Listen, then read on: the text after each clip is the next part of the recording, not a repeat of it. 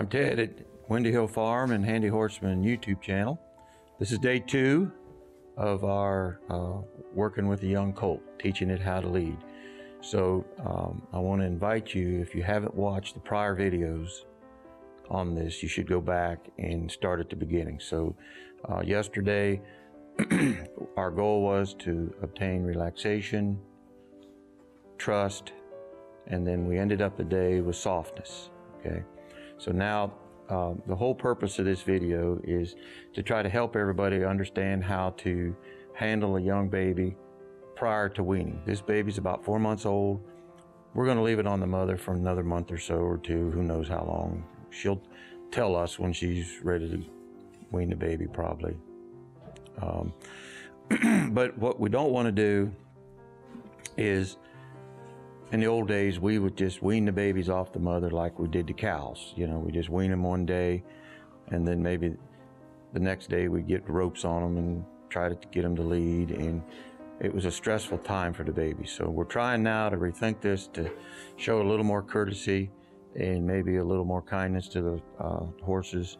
So last night, what we did is we brought the mother and baby and I put them in a stall together. So a lot of times years ago, the first time the baby was ever in a stall was when he was alone. So, you know, so last night I let him stay with his mommy, you know, so they had a good night and there was plenty of hay in the box. And uh, so now when we wean him, what my plan is, is we're going to put him back in the stall.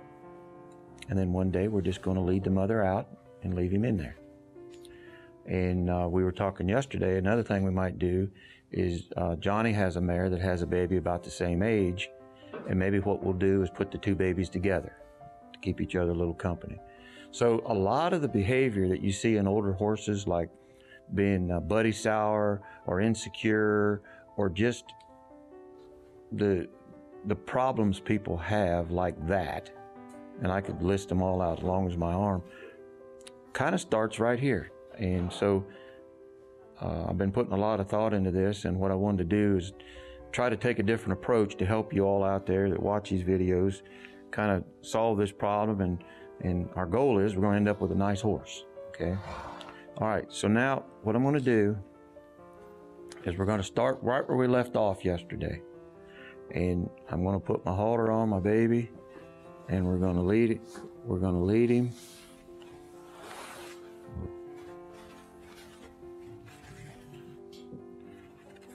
See, so now yesterday, he wouldn't even let me put my arms around his neck and put that halter on.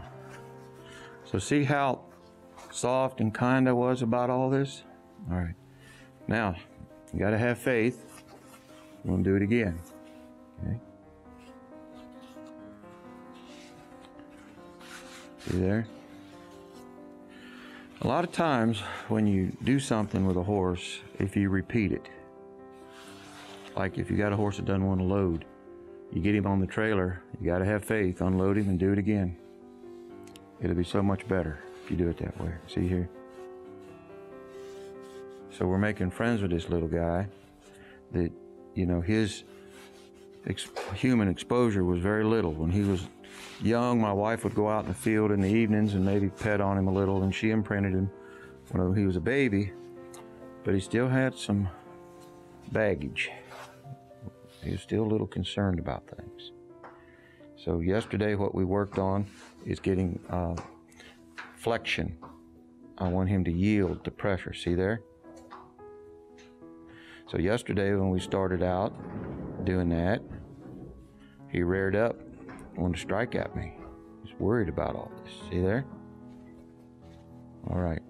So now we're gonna we're gonna step over here, Nikki, and we're gonna walk out of the stall and we're going to lead this baby following his mama. Okay?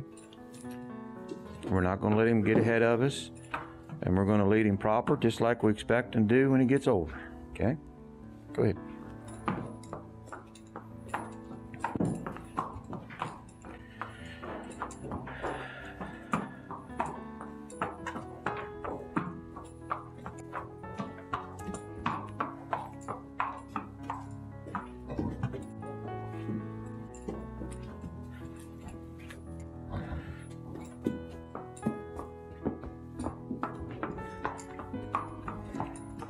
Coming through, Nathan.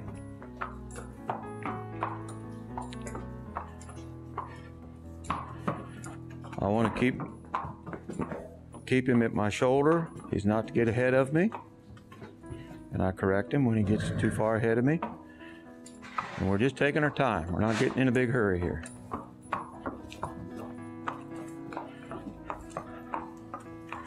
So this is a very valuable exercise. We're showing courtesy and politeness. And I say it over and over again, your horse will not be polite until you're first polite. So go right on in the wash rack, Brittany.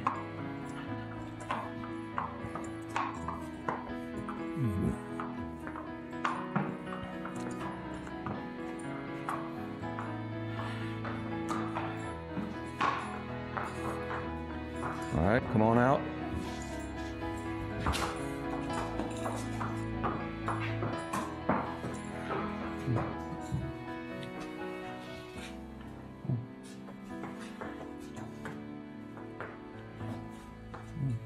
I'm not pulling hard, I'm just being very light. Gonna let him look around, think a little bit. Okay. So see pressure, release. So it's not about the wash rack, it's just about teaching him to use his brain, okay? Come on in, Brittany. Come on in behind him there and bring mommy in.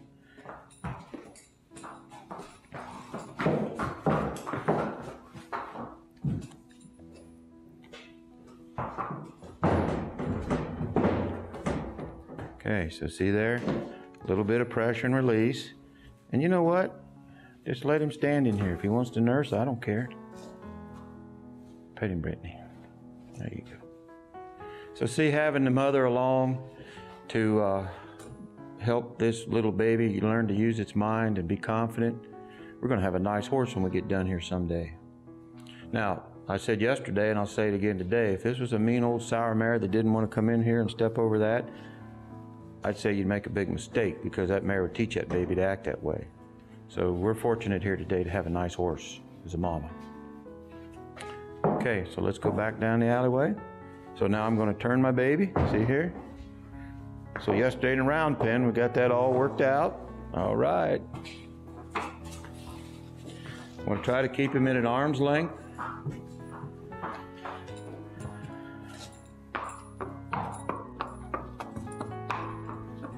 Let's go right to the walker.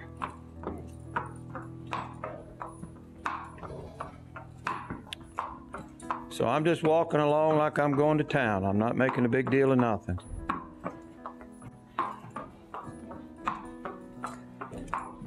So yesterday when we started, this baby wouldn't walk a step leading. Wanted to back up and rear and act stupid, afraid.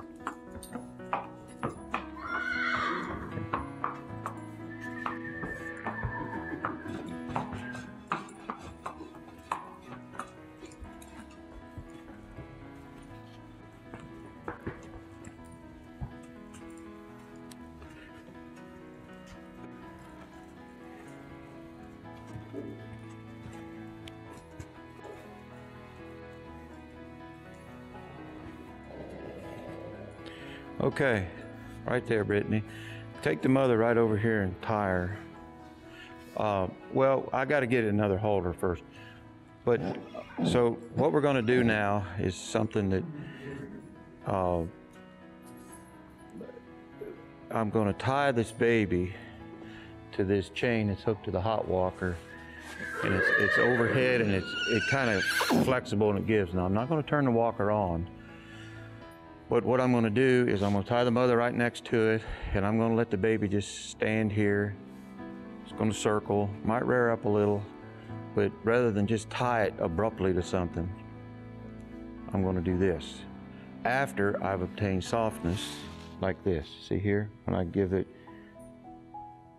pressure, see how he yields? I'm, I would never tie this baby until I've accomplished that. Okay? So my thought is, which I already know is going to happen, is that when he feels the pressure from being tied, he'll give to it. That's our plan. So go ahead and pause, Nikki, and I'll go ahead and hook him up.